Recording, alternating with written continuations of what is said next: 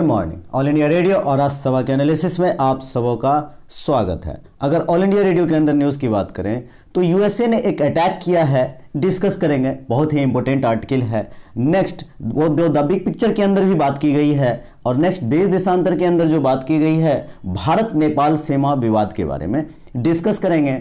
और उसके बाद इन डेप्थ के अंदर जो बात की गई है ऑस्ट्रेलिया में इमरजेंसी क्लाइमेट आया है, उसके बारे में बात करेंगे।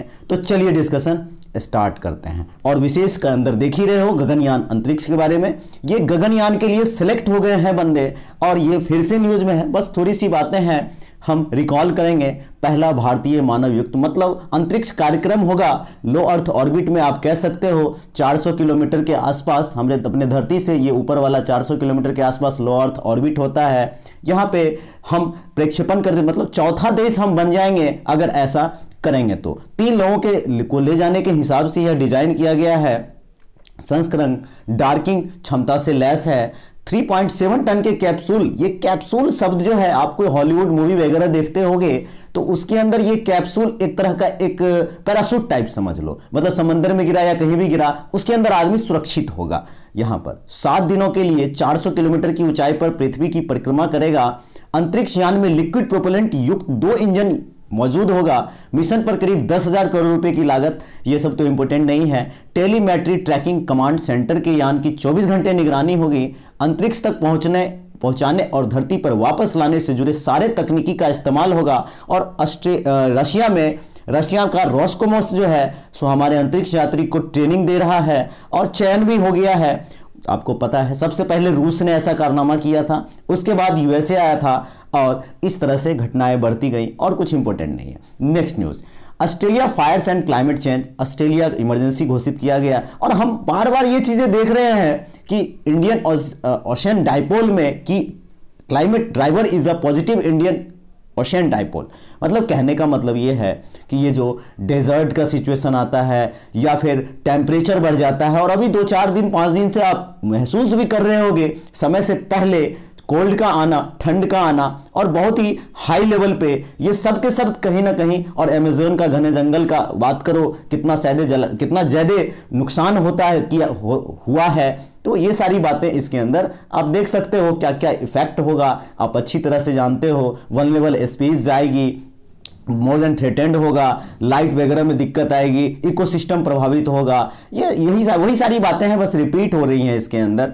और कुछ खास मुझे नहीं दिखता है। इसके अंदर यहाँ पर उत्तराखंड वगैरह लॉस हो रहा है, इंडोनेशिया में फॉरेस्ट फायर्स बहुत ज़्यादा बढ़ रहा है। मतलब ये सब कुछ खास इंपॉर्टेंट नहीं है। ग्लोबल वार्मिंग बढ़ेगा कॉमन है। चलते हैं नेक्स्ट आर्टिकल पे। Next article Nepal Kalapani border के बारे में है। यहाँ पर सगोली की संधि, अगर आपको याद हो तो 1816 ईस्वी में सगोली की संधि हुई थी और 1813 से 23 तक लॉर्ड हेस्टिंग्स था और इसी के समय में सगोली की संधि हुई थी नेपाल के साथ। और ये एक्चुअल एक्चुअल में जब से भारत ने जम्मू कश्मीर को एक किया है, भारत में मिलाया है पूरी तरह से तो भारत ने एक अलग सा नक्शा जारी किया है। तो यहाँ पर थोड़ा सा वो असल में उतना बड़ा विवाद है नहीं ये काला पानी वाला, क्योंकि नेपाल भी दिखाता है अपने नक्शे में और भारत भी दिखाता है, जबकि ये साइन ऑलरेडी अब यहाँ पे चाइना कार्ड का गेम होता है। अब देखो जैसे कि यहाँ पर मोतिहारी से हमने नेपाल तक पाइपलाइन बनाया बनाने, बना रहे हैं, ये न्यूज़ में भी आप इसको ध्यान रखना, और यहाँ पर बॉर्डर पर ट्रेड होता रहता है। 98 परसेंट ट्रेड जो है इजिली होता है। एक और टर्म बताऊँ, अगर इस तरह का कुछ नेपाल का नक्शा है तो नेपाल ने अपने कॉन्स्टिट्यूशन में जो अभी कॉन्स्टिट्यूशन 2015 में बनाया है, बहुत पुरानी न्यूज़ है दो तीन साल हो गए, और आप जो पढ़ने, जो कंटिन्यू रन में होंगे, उनको पता होगा कि इस इलाके में मधेसी रहते हैं, इस इलाके में। और नेपाल ने अपने कॉन्स्टिट्यूशन को इस तरह से बांटा है, इस तरह से। तो ज़ाहिर सी बात है, इसके राइट्स अलग हो जाएँगे, इसके राइट्स अलग हो जाएँगे, इसके राइट्स अलग हो जाएँगे, इसके राइट्स अलग हो जाएँगे, इसके राइट्स अलग।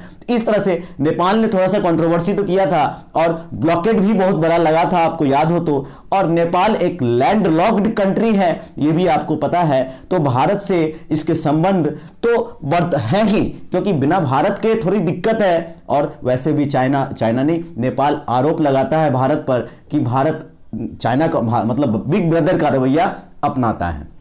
तो यही सारी बातें इसके अंदर। मतलब वहाँ पे क्या है कि ये सब डोमेस्टिक लीडरशिप के वजह से भी इस तरह का चाइना कार्ड खेला जाता है। हालाँकि सुविधाएँ तो वहाँ के बच्चों को हमारे हमारी भारत भी देती है, छात्रवृत्ति देती है एजुकेशन देती है हेल्थ देती है, वहाँ उतना डेवलप तो है नहीं। तो यही सारी बातें कही जाती हैं। चलते हैं नेक्स्ट आर्टिकल पे। नेक्स्ट आर्टिकल की जो बात की जा रही है, वो यूएसए के बारे में बात की जा रही है। Major major general Qasem Soleimani को मार गिराया है। अब देखो, ये जो कासिम सुलेमानी को मार गिराया है यूएसए आखिर इसको ऐसी ज़रूरत क्या पड़ी, अचानक से ऐसा क्या हुआ? पहले मेजर मेजर कासिम सुलेमानी को समझते हैं, ये कौन था? ये बंदा जो है ईरान में ये जो ईरान में ईरान में एक ऐसा एक्टर था, जिस एक्टर के बारे में अगर मैं कहूँ तो एक इस्लामिक रिवॉल्यूशनरी गार्ड आप कह सकते हो corps Islamic Revolutionary Guard Corps इसको कह सकते हो। मतलब ईरान का था। जैसे यमन में होती रहता है तो ईरान का समर्थन प्राप्त है। हमास में वेस्ट बैंक रहता मतलब हमास वेस्ट बैंक को सपोर्ट करता है। हेजबुल्ला हेजबुल्ला लेबनान को सपोर्ट करता है तो इस तरह से अदर अदर एक्टर हर जगह सपोर्ट करता है तो ईरान में भी एक जनरल कासिम एक एक्टर है। और आपको यह मालूम है कि ईरान के बाजू में आपको इराक दिखेगा, और इराक में जो है, इराक में यूएसए का नेवल बेस है, अब नेवल नहीं मतलब बेस है, और बहुत ही सिक्योर जगह पर है। इस जगह पर इस बंदे ने, किसने? जनरल कासिम ने हमला किया था। तो यहाँ पर इराक में यूएसए ने इसको मार गिराया। अब यहाँ पर क्या है? हुआ क्या है कि जैसे अलकायदा था, या फिर और भी बहुत सारे संगठन थे तो इन लोगों का या तो समाप्ति पर था, सब कुछ मतलब लास्ट में जब बचता था, तब यूएसए ने अटैक किया और तब मारा। लेकिन यहाँ पर क्या हुआ?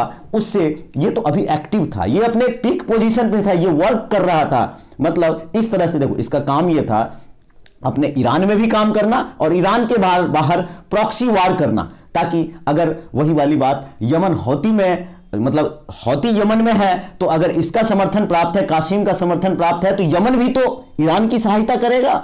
हमास भी अगर वेस्ट बैंक भी तो ईरान की सहायता करेगा। तो ये एक एक्टर आप कह सकते हो यहाँ पर। तो यूएसए ने इस बात को एक्सेप्ट भी कर लिया है। हाँ हमने इनको किल किया है। आखिर ऐसा क्यों? आखिर इसलिए क्योंकि वहाँ पे अभी वोटिंग मतलब कहने का मतलब इलेक्शन का दौर चल रहा है। अब दूसरा एस्पेक्ट अगर देखें तो भारत का क्या असर होगा इसके ऊपर? तो यूएसए और ईरान दोनों के साथ रिलेशन मेंटेन करना भारत के लिए बहुत चैलेंजिंग हो जाएगा। चार परसेंट ऑयल के रेट अचानक से बढ़ गए। स्टेट ऑफ़ हॉर्मूज में अनस्टेबिलिटी आ सकती है। कर यहाँ पर करंट अकाउंट डेफिसिट हमारा बढ़ सकता है। 80 लाख के आसपास लोग हमारे भारतीय मूल के ये, गल्फ कंट्री में है मतलब वेस्ट इंडिया वेस्ट एशिया में आप कह सकते हो तो इनको सिक्योरिटी इनके सिक्योरिटी में दिक्कत होगी। अब देखो ईरान ईरान पर जो यूएसए ने जिस तरह से हमला किया उसके धरती पर जाकर के कोई देश चाहेगा अगर हमारे देश के ऊपर भी कोई दूसरा कंट्री आकर के हमला करे तो ये हमें पसंद थोड़ी ना आएगा। तो रिटेलिएट तो होगा। अब तो ये देखने वाली बात होगी आर्टिकल भी आएगा। तो जैसे जैसे रिटेलिएट होगा उस तरह से बात करेंगे। तो आ, एक और बात एक और डिस्कशन एक एक और न्यूज़ सॉरी एक और न्यूज़ रेडियो के अंदर सामयिकी के अंदर आया है कि ट्राई ने कुछ डिसीज़न लिया है ट्राई ये रेगुलेटरी ट्राई आप जानते हो ट्राई ने एक कुछ डिसीज़न लिया है। तो ये एक 1997 में ये बॉडी बनी थी 1997 में और स्टेचुटरी बॉडी है ये भी आपको पता है। तो यही बात बतानी थी। तो आज के डिस्कशन में इतना ही था। Thank you thank you